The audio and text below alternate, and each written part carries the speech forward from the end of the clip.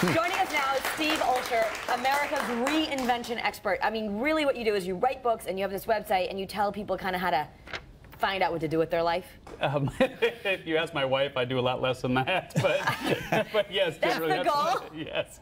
All right, so you actually believe that we all have one thing that we were born to do. I do. I believe that everyone has one specific amazing thing that they were born to do. It's in your DNA. It's in your blueprint. That- there's, not, that's there's nothing you can do about it. Okay. So our job is to find it, and you wrote a new book. It's coming out on Monday. What is your what?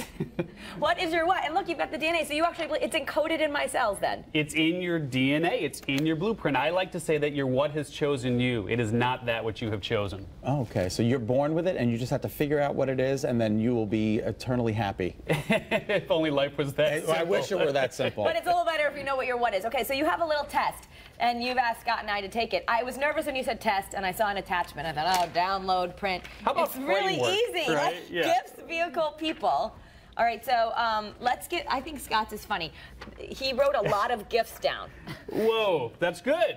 So, so yeah. So for those of you at home, um, to be able to answer the question of what is your what, there, there- there is. It's not even a test, right? I mean, it's it's a framework Right. to help you be able to answer the question. And your what, the the three parts of the uh, equation here are: you have inherent gifts.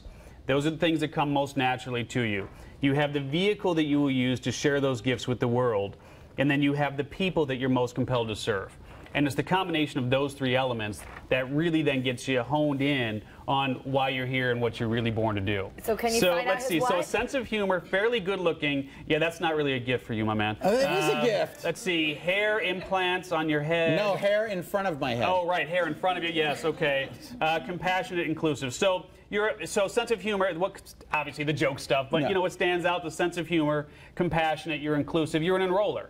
Right, I mean that's really what you do. You're a communicator. You're an enroller. So the vehicle through TV, public appearances, weather, storytelling. So you could say mass media, right, is one of the vehicles. Then probably the primary vehicle that you use. So you're a communicator. The vehicle you use is, in this case, mass media, and the people you're most compelled to serve. Much larger audience. Much uh, larger audience trying to. Um, Kara right, asked me so, this- So the idea here is to try to be specific, right? The more specific you can be, the easier it is for you to really hone your message, to really help people who are specifically.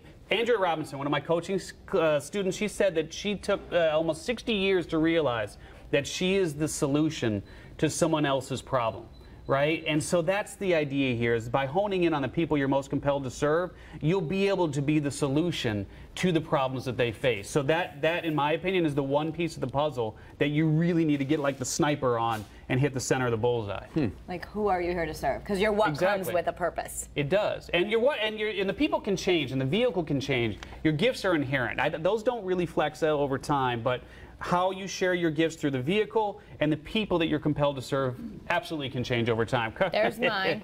Gab, the gift of gab, intuition, writing, caring. So you uh, again, the same sort of thing. You're a communicator. I would put writing in the vehicle. Right, so writing would be more of the vehicle. It's you're a communicator, but you're an intuitive communicator because you understand people. You have the ability to look at someone, to talk to someone, and in a short period of time, probably hone in pretty quickly on who they are, what they need, and how you might be able to help them. I try. Right? You try. So the vehicle, TV, writing, speaking. Again, it's it's about just various forms of communication. In this case, you know, it's it's uh, it's more of a um, sort of a, a mass media type approach because Sure. you're doing it here. Uh, people, everyone know that You doesn't do you- it's too broad. it doesn't do you any good at all. I said You everyone. I wanna You- serve you- everyone. No, you yeah, yes, of course you want to, I'm just to narrow it down. but you won't be effective doing it, right? Okay, so I you mean, need to uh, really identify, like for for give us an example. You said people come to you and they get coached, and you said people like give it a story where someone has really changed their life because of this. Absolutely. So one of my favorite stories is a woman by the name of Donna Miller. She was uh, and still is a nurse, but she just she always felt like a piece of the puzzle was just missing. Like she liked what she did, but she just didn't quite love Yeah. it. And so her gifts, right, going back Right. to this equation, We only her have 20 gifts, seconds left. great teaching and healing. The vehicle, nursing. The people, she was working in a general hospital. She was unclear. She became clear that the disadvantaged elderly are the people that she's most compelled to serve. She now works in a VA hospital. It's really made all the difference. Made all the difference. So the book is called What Is Your What? And it comes out on Monday. It does. Grab it for free at whatisyourwhat.com. Whatisyourwhat.com. We get it for free? Free. Free. I love what things that are free. Thank you. That's awesome. Thank Yeah. you so much for being with us. Absolutely. Thank you, studio audience. Have a great day, everybody.